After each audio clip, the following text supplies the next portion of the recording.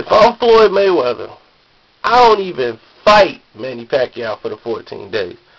Just off the principality of him wasting time. You wasted my time.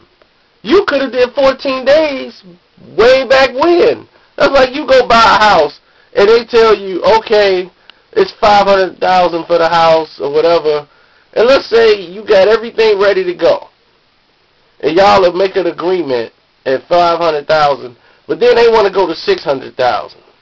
And you say, okay, y'all fight back and forth and you say, okay, well, at least I'll come 550 and they won't budge off the 600,000. Everything is in line to go down in place. But we scrap all of it because you don't want to budge off the little 50,000. So we wait six, seven, eight months later, and now you want to go back and say, okay, uh, let's do it for the 1550. No, fool. You finna come all the way down to 500. And that's what he should say. You going to go all the way until I tell you when, or you coming off 60-40. That's exactly what he should tell Manny Pacquiao just for wasting his time